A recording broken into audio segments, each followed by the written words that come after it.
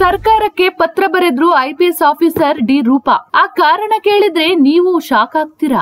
ನಿರ್ಭಯ safe city tender ಮಾಹಿತಿ ಸೋರಿಕೆ ಪ್ರಕರಣಕ್ಕೆ ಸಂಬಂಧಪಟ್ಟಂತೆ ಗೃಹ ಕಾರ್ಯದರ್ಶಿ ಡಿ ರೂಪಾ ಪ್ರತಿಕ್ರಿಯಿಸಿದ್ದಾರೆ. ತಮ್ಮ ವಿರುದ್ಧದ ಆರೋಪದ ಬಗ್ಗೆ ಟ್ವಿಟ್ ಮೂಲಕ ಸ್ಪಷ್ಟನೆ ನೀಡಿದ್ದಾರೆ. ಈ ಹಿಂದೆ ಇ ವೈ ಕಂಪನಿಗೆ ಡ್ರಾಫ್ಟ್ ನೀಡಿದ್ದ ವಿಚಾರವಾಗಿ ಪಿಎಂ ಕಚೇರಿಗೆ ಬಿಎಲ್ ಕಂಪನಿ ದೂರು ನೀಡಿತ್ತು. ತಮಗೆ ಬೇಕಾದವರಿಗೆ ಟೆಂಡರ್ ನೀಡಲಾಗಿದೆ ಅಂತ ಆರೋಪ ಕೂಡ ಮಾಡಿತ್ತು. ಆದ್ರೆ ಈ ಬಗ್ಗೆ ಟ್ವೀಟ್ ಮಾಡಿರುವ ಡಿ ರೂಪರವರು ಈ ವಿಚಾರವನ್ನು ಮುಖ್ಯ ಕಾರ್ಯದರ್ಶಿಯರವರ ಗಮನಕ್ಕೆ ತಂದಿದ್ದೆ. ಬಳಿಕ ಮುಖ್ಯ ಕಾರ್ಯದರ್ಶಿಯವರೇ ನನ್ನನ್ನು ಸೇಫ್ ಸಿಟಿ ಪ್ರಾಜೆಕ್ಟ್ ಮೀಟಿಂಗಿಗೆ ಆಹ್ವಾನಿಸಿದರು. ಆಗ ಟೆಂಡರ್ ಪಕ್ಷಪಾತವಾಗಿರೋದು ಸಾಬೀತಾದ ಹಿನ್ನೆಲೆ ಅದು ರದ್ದಾಗಿತ್ತು. ಅಲ್ಲದೆ ಇ ಅಂಡ್ ವೈ ಕಂಪನಿಯ ಟೆಂಡರ್ ಡ್ರಾಫ್ಟಿಂಗ್ ಕ್ರಮ ಬದ್ಧವಾಗಿರಲಿಲ್ಲ. ಹೀಗಾಗಿ ಹೋಮ್ ಸೆಕ್ರೆಟರಿ ಆಗಿರೋ ನಾನು ನನ್ನ ಅಧಿಕಾರ ವ್ಯಾಪ್ತಿಯಲ್ಲಿ ಈ ಬಗ್ಗೆ ಪರಿಶೀಲಿಸಿದ್ದೆ. ಯಾಕೆ ಆ ಟೆಂಡರ್ ಪಕ್ಷಪಾತದಿಂದ ಕೂಡಿದೆ ಅನ್ನೋದರ ಕುರಿತು ಹೆಚ್ಚಿನ ಮಾಹಿತಿ ಪಡೆಯಲು ಇ ಅಂಡ್ ವೈ ಕಂಪನಿ ಜೊತೆ ಮಾತನಾಡಿದ್ದೆ ಎಂದಿದ್ದಾರೆ. ಅಲ್ಲದೆ ಸಾರ್ವಜನಿಕ ಸೇವಕಿಯಾಗಿ